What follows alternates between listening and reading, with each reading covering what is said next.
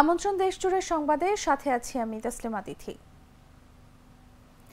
ব্রিজে অতিরিক্ত টোল আদায় ও মারধরের প্রতিবাদে বরিশাল, পটুয়াখালী মহাসড়ক অবরোধ রেখে বিক্ষোভ করেছেন পরিবহন শ্রমিকরা।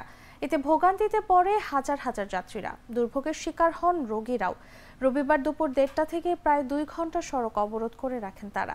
পুলিশ এসে পরিস্থিতি নিয়ন্ত্রণে আনে, মারধরের শিকার জুথি পরিবহনের সুপারভাইজার মোহাম্মদ শাকিল বলেন, আমাদের কাছে আরও বেশি টোল দাবি করা হয়। না দিলে টোলের লোকজন বাসে ইট নিক্ষেপ করে এবং পেছনের গ্লাস ভাঙচুর করে।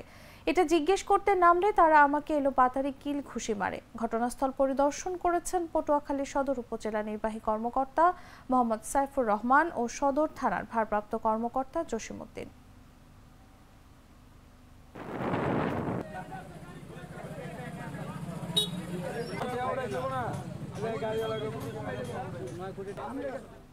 বর্ষা এলেই প্রায় সারা দেশে বেড়ে যায় ডেঙ্গুর প্রাদুর্ভাব। প্রতিবারের মতো এবারও দেশের বিভিন্ন জেলায় বেড়েছে ডেঙ্গুর প্রকোপ।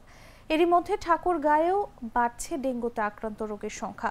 দুশো পঞ্চাশ শয্যা বিশিষ্ট ঠাকুরগাঁও জেনারেল হাসপাতালে গত ষোলো দিনে ডেঙ্গুতে আক্রান্ত হয়ে চিকিৎসা নিয়েছেন বিশ জন। তাদের মধ্যে হাসপাতালে এখনও চিকিৎসাধীন আছেন সাতজন তবে অন্যান্য জেলার তুলনায় ঠাকুরগাঁওয়ে ডেঙ্গুর প্রাদুর্ভাব কিছুটা কম। হাসপাতাল সূত্রে জানা যায়, পহেলা জুলাই থেকে ষোলো জুলাই পর্যন্ত ডেঙ্গুতে আক্রান্ত হয়ে বিশ জন হাসপাতালে ভর্তি হয়েছেন। এদের মধ্যে সুস্থ হয়ে বাড়ি ফিরেছেন চোদ্দ জন। এখনও হাসপাতালে চিকিৎসা নিচ্ছেন সাতজন তবে যারা আক্রান্ত হয়েছেন, তাদের অধিকাংশই ঢাকা থেকে গেছেন।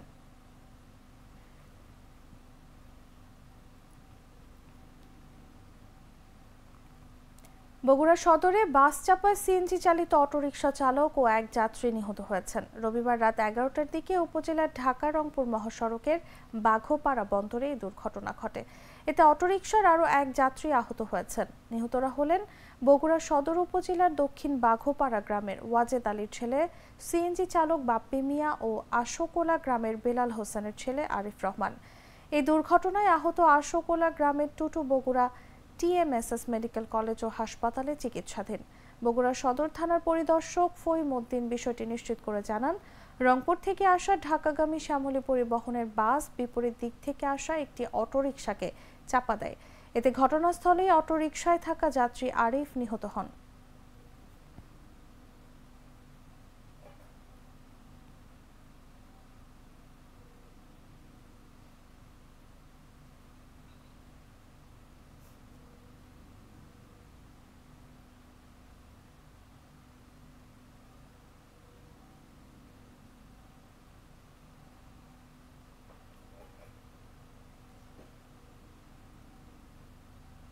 পদ্মা নদীতে পানি বাড়তে শুরু করায় দেশের গুরুত্বপূর্ণ দৌলদিয়া পাটুরিয়া নৌরুটে দেখা দিয়েছে তীব্র স্রোত।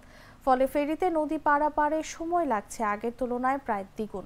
তবে এখনও বিপদসীমার নিচে রয়েছে পদ্মার পানি। সোমবার সকালে দৌলদিয়া ঘাট বিআইডব্লিউটিসি ও পানি পরিমাপের মাধ্যমে এ তথ্য জানা গেছে।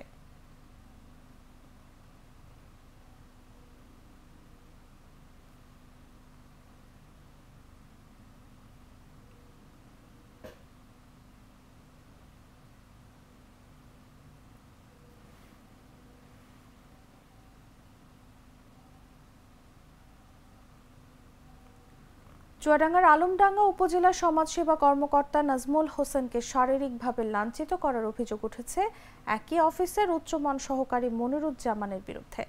দাপ্তরিক কাজের পেপার টাইপে ভুল করা নিয়ে বাগবিতণ্ডার এক পর্যায়ে এ ঘটনা ঘটে। রবিবার বিকেলে এ ঘটনা ঘটেছে। তখন সমাজসেবা কর্মকর্তা নাজমুল হোসেনকে অফিসের অন্যান্য কর্মকর্তা কর্মচারীরা উদ্ধার করে হারদি উপজেলা স্বাস্থ্য কমপ্লেক্সে ভর্তি করেন। এ ঘটনায় মামলার প্রস্তুতি চলছে।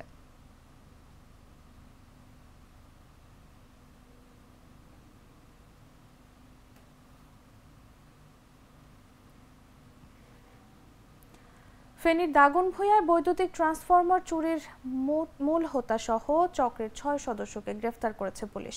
একই সঙ্গে চুরি হওয়া ছয়টি ট্রান্সফরমার সহ সরঞ্জাম উদ্ধার করা হয়েছে। সোমবার দুপুর বারোটার দিকে নিজ কার্যালয়ে আয়োজিত সংবাদ সম্মেলনে এসব তথ্য জানান ফেনীর police super Zakir Hasan. Police জানায়, সম্প্রতি চোর চক্রের সদস্যরা রামনগর, ইয়াকুবপুর মাতুভূয়া ও সিলোনিয়া সহ বিভিন্ন এলাকা থেকে অন্তত দশটি ট্রান্সফরমার চুরি করে নিয়ে যায়। এ ঘটনায় পল্লী বিদ্যুতের দাগনভূঞা জোনাল অফিসের deputy general manager Mohammad Jahangir Alam AGM Rashidul Islam সহ একাধিক কর্মকর্তা বাদী হয়ে থানায় পৃথক সাধারণ ডায়েরি করেন। যার সূত্র ধরে পুলিশ রবিবার রাতের বিভিন্ন সময় অভিযান চালিয়ে আসামিদের গ্রেফতার করে।